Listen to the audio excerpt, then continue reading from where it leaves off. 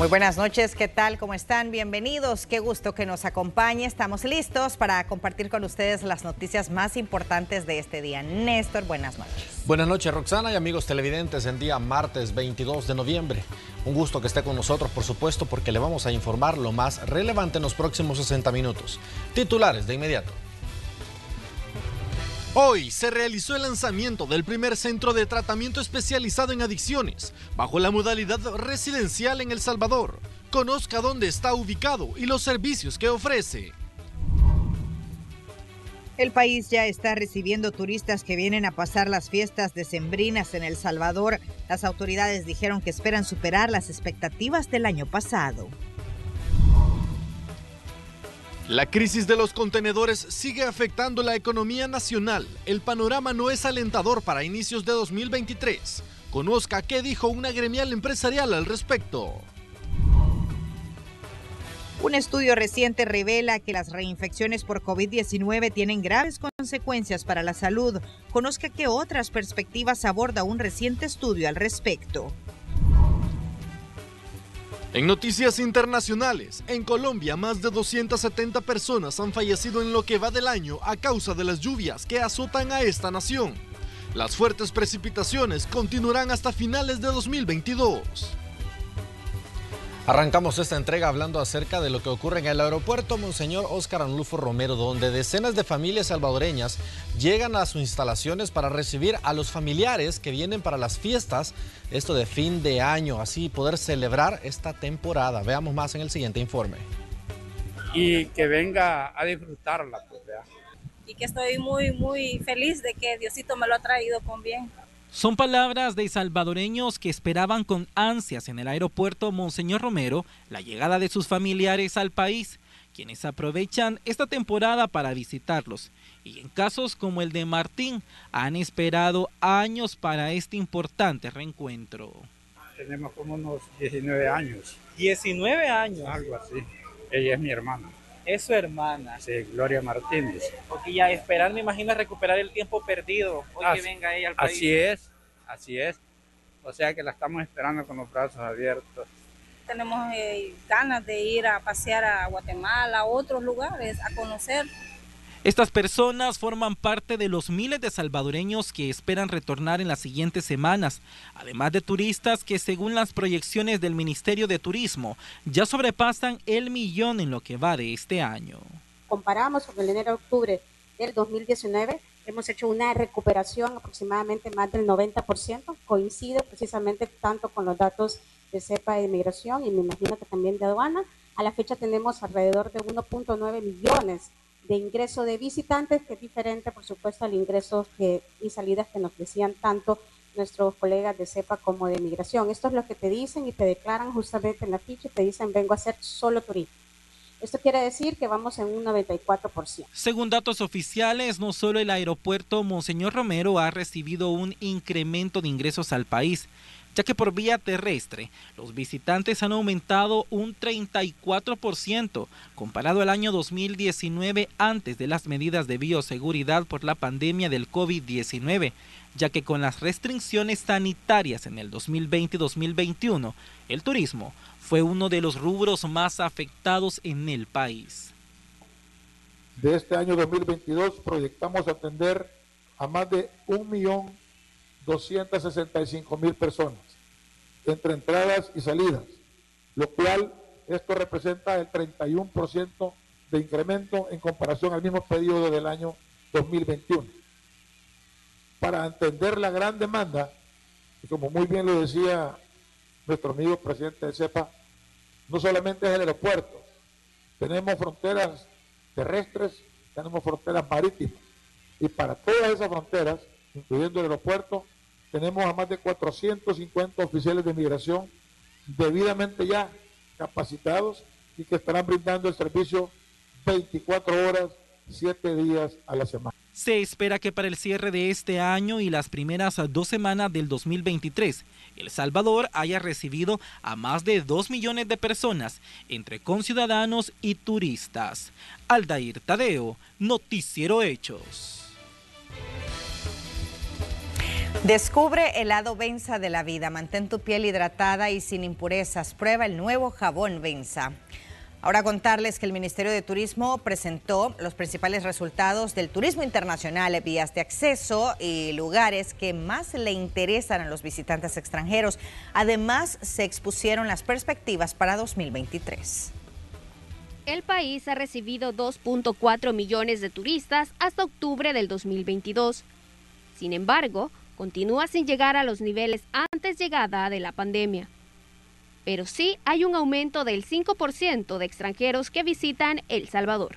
Este año todavía no vamos a alcanzar los niveles que teníamos previo a la pandemia, pero sí se estima que estemos bastante cerca, que hemos tenido un 5% de crecimiento respecto a previo a la pandemia. Eh, para el caso de los turistas, de igual manera, los meses más visitados han sido julio, octubre y agosto respectivamente. Al menos 31 parques nacionales han sido visitados por turistas nacionales y extranjeros, haciendo un total de 5 millones de turistas interesados en estos sitios. Esto totaliza 5 millones y cabe mencionar que los parques más visitados son el complejo del Puerto de la Libertad, el Parque Balboa, el Cerro Verde, Amapulapa y Apulo. Pero, ¿cuáles son las proyecciones del sector turismo para el 2023? Preliminarmente se espera tener la visita de 2.7 millones de turistas, y aumentar el ingreso económico a 2.7 millones de dólares, teniendo un crecimiento del 15% respecto al 2022, debido a que el 47% de los visitantes pertenecen a Estados Unidos. Carla Araniva, Noticiero Hechos. Record SOS Baterías al Rescate. Recuerda que puedes solicitar tu batería a domicilio a nuestro contact center 2245 4444. Restricciones aplican. Ahora contarles que previo al Día Nacional de la Oración, pastores y jóvenes se concentraron en el Salvador del Mundo, en la plaza, para pedir por la juventud salvadoreña como muestra de una muestra simbólica que lanzaron globos blancos para demostrar que la niñez en el país quiere vivir en paz. Para este miércoles se prevén varias actividades similares en las principales plazas públicas del país.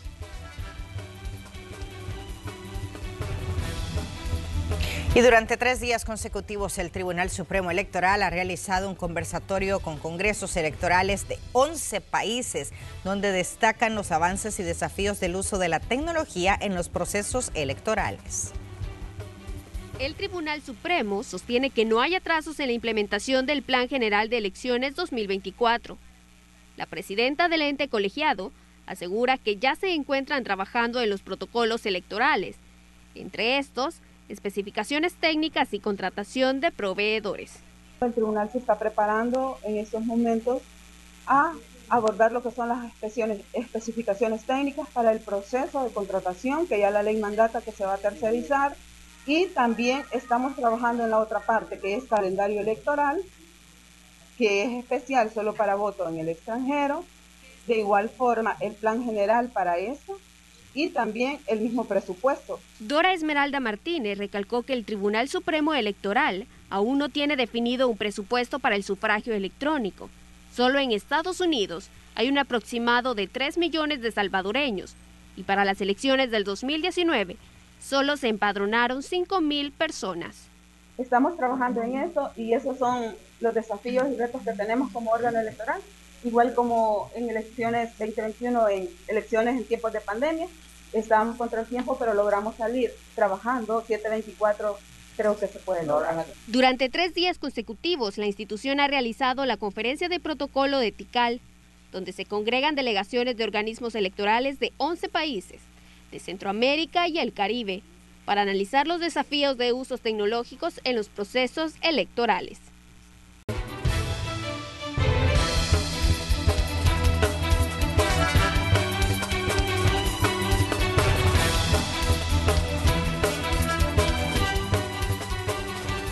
El costo de los fletes en el traslado de las mercancías y la crisis de los contenedores siguen golpeando el sector productivo del país. Así lo aseguró el presidente de la Cámara de Comercio en El Salvador. Esto, Jorge Asbun, dijo que además persiste la escasez materias primas en la industria. Veamos más en el siguiente informe. La congestión marítima portuaria sigue siendo uno de los principales factores que afectan la cadena de suministros a nivel global. Y en El Salvador ese problema continúa golpeando a las industrias problemas en los puertos que alimentan El Salvador. Recordemos que El Salvador no tiene Atlántico. Nosotros dependemos de los puertos de Atlántico de Guatemala y de Honduras para poder eh, traer mercaderías eh, del, mar Atlántico. Antes de 2020 tú podías casi que al centavo apostar qué semana iba a venir un contenedor. Ahora difícilmente puedes saber qué mes va a venir un contenedor y todo eso complica eh, todos los negocios en general. A esto le agregan los costos de los fletes en el traslado de las mercancías que mantienen en aprietos al sector, pues lejos de mostrar una baja, el pago sigue siendo alto para los empresarios. Habían fletes de China que costaban 4 o 5 mil dólares, se fueron a 20 y ahora bajaron a 10, pero siempre están más altos que antes, ese es el problema. Claro, han bajado la mitad, pero habían subido cuatro veces.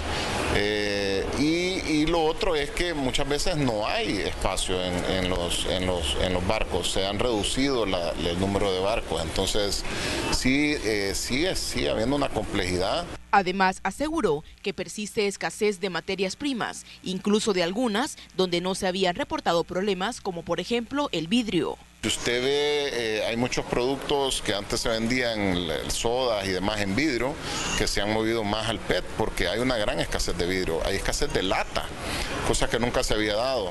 Entonces sí afecta al sector comercio principalmente en el tema del producto terminado, pero eh, afecta a todos y después y al final acaba afectando a los consumidores. Pero sí hay costos escondidos eh, en todo esto. Aún así, el presidente de la Cámara de Comercio mantiene las expectativas de cerrar el 2022 con crecimientos mayores a los registrados el año pasado. Este año tal vez eh, se está eh, apostando mucho más a la temporada de fin de año, pues eh, ha sido un año complejo. Siempre pues la expectativa es positiva, pero sí estamos tratando de asesorar a los socios que, que tomen ciertas medidas contingenciales en relación a inventarios y otros, especialmente con el ambiente tan cambiante que hay en, en la inflación y en el costo de los fletes y demás. Informó para Noticiero Hechos Jennifer Flores.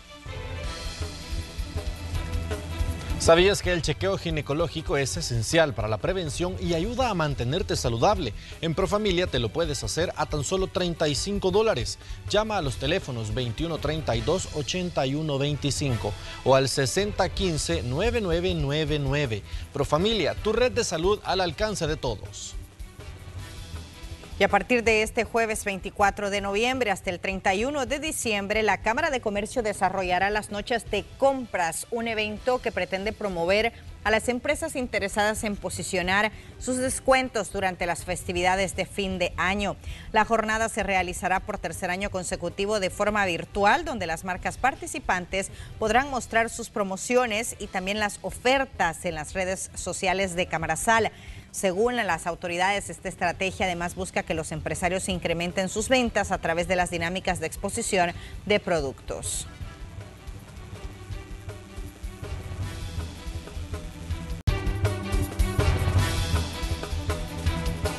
La reinfección de COVID-19 puede ser fatal, por lo que los especialistas recomiendan cumplir con los protocolos de bioseguridad ante el incremento de casos en el país en los últimos días.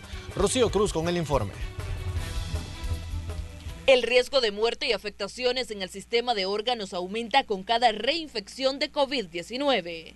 Pues hay personas que se están reinfectando eh, no solamente una, dos, sino que hasta cinco veces. Especialistas sostienen que adquirir este virus más de dos veces puede generar enfermedades cardíacas, pulmonares, renales, problemas mentales o ser fatal a corto o largo plazo por lo que ante el incremento de casos diarios en el país, recomiendan cumplir con los protocolos de bioseguridad. Más infecciones, mientras se van produciendo más infecciones, el daño que se va provocando es todavía más intenso. Digamos, aquellas personas que han padecido tres o cuatro veces la infección eh, tienen tres veces la posibilidad de morir más rápido que aquellas personas que, solo la han padecido una vez o que no la han padecido. Quiere decir que que si una persona se iba a morir en 10 años, pues se va a morir en 2, por ejemplo. En El Salvador, el grupo etario más afectado durante esta pandemia es el de 20 a 39 años, de acuerdo con la página oficial del Ministerio de Salud. Los expertos señalan que es importante vacunarse para reducir los riesgos de desarrollar síntomas graves, principalmente quienes padecen enfermedades crónicas, que son más vulnerables a reinfectarse. Eh, actualmente nosotros lo estamos viendo eh, muy común y hay factores de riesgo ¿verdad?, en las personas. Un gran factor de riesgo eh, porque las personas se estén eh, reinfectando por COVID eh, es la obesidad. lo estamos viendo mucho en personas obesas. También lo vemos en personas con bajas defensas, como por ejemplo personas que adolecen enfermedades o problemas de salud como la diabetes, la insuficiencia renal, entonces lo estamos viendo que se da muy frecuente en estas personas, lo, han padecido tres o cuatro veces. Según la doctora Xiomara Juárez, el país está sufriendo una sexta hora de contagios. Y es que diariamente se reportan hasta 250 casos nuevos por este virus, situación que adjudica al incumplimiento de las medidas sanitarias en lugares y actividades consideradas de alto riesgo, como partidos de fútbol, conciertos, centros comerciales y el transporte público. Eh, mire, yo, yo considero de que esto empezó eh, a fines de octubre, ¿verdad? Luego eh, vino y, y, se agudizó con, con, lo de la salida a los cementerios, ¿verdad? Para el día difuntos las personas salieron sin mascarilla y pues estamos viendo esto desde el 14 de noviembre, tenemos esta sexta ola y los casos sí están exponencialmente incrementados. Termine de vacunarse porque sí, para este fin de año sí que nos espera eh, muy duro eh, esta, eh, el, el recrudecimiento de la pandemia va a ser muy duro. Además del coronavirus, en el país también se tiene un incremento de casos de influenza y sincitial que provocan síntomas similares al COVID-19 por lo que las unidades móviles para tamizajes comunitarios suelen estar más saturadas, situación que podría alargarse hasta principios de 2023. Este es un informe de Rocío Cruz para Noticiero Hechos. Se lanzó el Centro de Tratamiento Especializado en Adicciones bajo la modalidad residencial en El Salvador, en el cual cuenta con espacios de recreación, descanso, estudio y áreas donde las personas puedan o podrán desarrollar sus habilidades aprendiendo un oficio. De acuerdo con las autoridades, se busca contrarrestar los efectos negativos del consumo de drogas bajo un concepto terapéutico, ya que los usuarios podrán recibir su tratamiento al mismo tiempo que conviven socialmente y en un espacio que les transmite seguridad. Las personas serán internadas por un periodo de hasta seis meses con atención multidisciplinaria. Contamos con siete establecimientos distribuidos a lo largo de todo el país para la atención de adicciones bajo modalidad ambulatoria con las clínicas especializadas para ello de Fosalud. Mejorar con el mantenimiento unas áreas de esta casa de recuperación, también los donativos que nos hacen como aparatos de gimnasio, juegos de mesa, colchones, mesas de noche, lockers, horno industrial, molino de maíz, etcétera.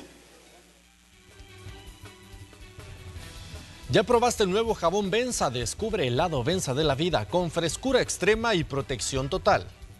Ahora a contarles que más de 80 explosiones leves reporta el volcán Chaparrastica en los últimos días, esto en San Miguel, con presencia de gases, vapor de agua y ceniza.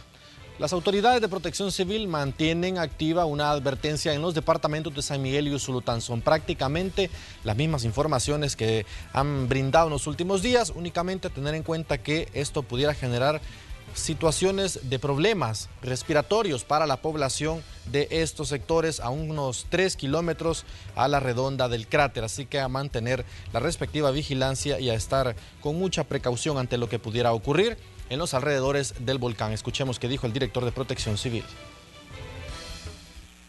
En total hemos tenido explosiones hasta el día de ayer, un número total de 86, un promedio de 14 diarias. La altura promedio que ha alcanzado cada una de estas explosiones ha sido unos 500 metros. Eso es muy importante porque cuanto más sube todo lo que el volcán expele, mayor probabilidad de que se disipe con los vientos que ayer decía yo son propios de esta época y al final pues no termine teniendo mayor incidencia en, las comunidades circundantes. Las explosiones de mayor altura, hemos tenido una aproximada de 1100 metros, fue el día viernes 18 a la 1.36 pm y el día sábado 19 a las 2. Momento de actualizar las temperaturas que se esperan para este miércoles 23 de noviembre. En la zona occidental se espera que la temperatura máxima alcance los 30 grados y la mínima los 20 grados. En la zona central se espera que la temperatura máxima alcance los 30 grados también con una mínima de 20. Ahora nos vamos a la zona de Oriente, donde la temperatura máxima se espera que alcance los 34 grados con una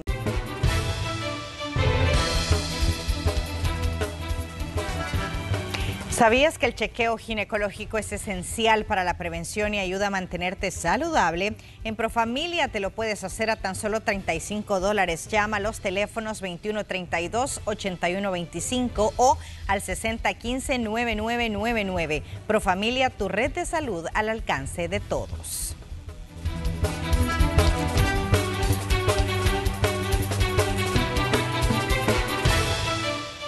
Tener mi propio negocio ver que crezca y que alguien creyera en mí. Ese es mi éxito. Apoya a la MIPE para juntos crecer. Integral, tu banca MIPE. Presenta. Las lluvias han causado estragos en Colombia. Más de 270 personas han fallecido en lo que va del año debido a las lluvias que azotan a esta nación andina. La ola invernal es la más severa en décadas según las autoridades y aseguran que las fuertes lluvias están asociadas con el fenómeno de la niña y que se extenderán hasta el mes de diciembre. El gobierno declaró una sala de crisis para atender la emergencia. Las tormentas causaron crecidas de ríos, evacuaciones, deslaves y decenas de evacuados y lesionados. Estados Unidos puso en marcha un plan para acabar con el título 42, una normativa sanitaria utilizada para expulsar de forma express a los migrantes que lleguen a la frontera sur con el pretexto de la pandemia del COVID-19. El anuncio, hecho este martes, llega después de que un juez federal le diera al Departamento de Seguridad Nacional un plazo de cinco semanas para suspender la norma. Cuando sea suspendida esa normativa puesta en pie por el expresidente Donald Trump, se aplicará el llamado Título 8, que permite a los migrantes solicitar asilo en los puertos de entrada y da la potestad al gobierno para deportar e incluso imponer penalidades a quienes no cumplan con los requisitos y sean considerados inadmisibles. Tener más clientes, dar más empleos y que alguien me apoyara. Ese es mi éxito. Apoya a la MIPE para juntos crecer. Integral, tu banca MIPE. Presentó. Vamos a cambiar de tema. Decenas de personas visitaron la vía navideña ubicada en Santa Tecla, en donde se encuentra el árbol más grande del municipio. Ahora las personas tienen más espacios con motivo navideño para disfrutar con familia y amigos, lugares que les permiten recrearse y romper con la rutina diaria, aseguran muchos visitantes que llegaron hasta el Parque Daniel Hernández en Santa Tecla. Muy bonito decorado el alcalde. Sí, muy bonito, las estrellas y toda la decoración está bien bonita. Ya disfrutando este ambiente navideño con la familia, pues eh, ya tratando la manera de pasarla bien ya en los días de vacaciones. Bien, me siento feliz, emocionada de pues ver tantas luces. Eh, me siento en paz, es muy diferente, ya se siente la temporada.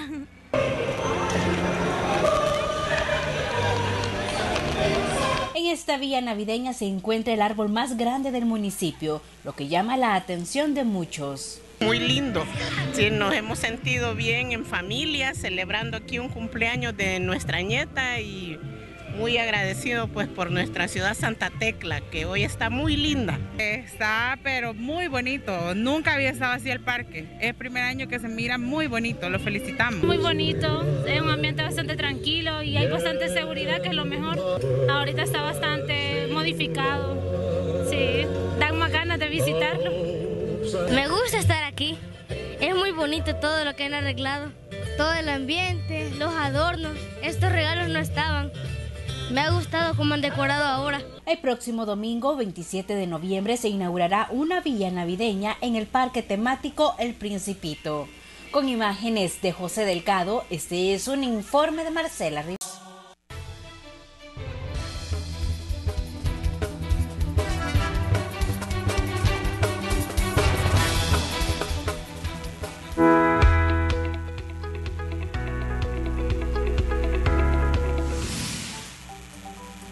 Compañeros y amigos televidentes, bienvenidos a Acontecer Empresarial. Conozcamos las noticias.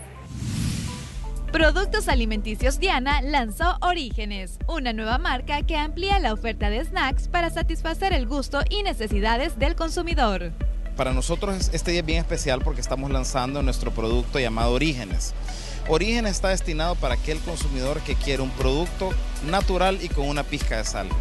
Orígenes está disponible en dos nuevas presentaciones, mix de yuca, plátano y malanga y la otra es yuca con sal, proporcionando una alternativa diferente de sabor, la cual combina con una tradición de agricultores expertos.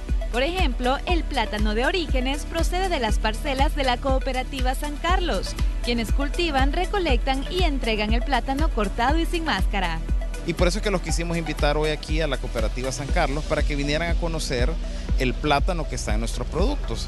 Y como ustedes pudieron ver, ya fuimos a visitar la plantación, ya se dieron cuenta cómo es cosechado, cómo es lavado, cómo es procesado.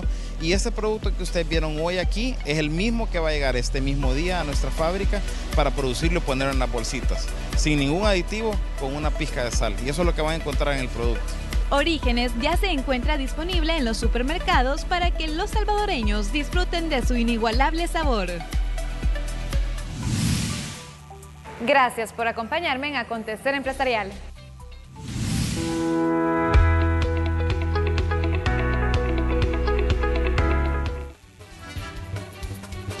Desde 1978, Hospital Climusal te brinda los mejores servicios médicos para el cuidado de tu salud y la de tu familia. Desde consultas en medicina general, servicio de laboratorio, pediatría, cirugías y emergencias, hasta los mejores médicos especialistas que te darán un diagnóstico y tratamiento acertado. No pongas tu salud o la de tu familia en cualquier mano. Mejor confía en Hospital Climusal las 24 horas del día y los 7 días de la semana. Para más información o para hacer ya tu cita médica, llama al PBX 2228 887. Ha llegado el momento de despedirnos. Gracias por habernos acompañado. Que descanse. Buenas noches. Buenas noches.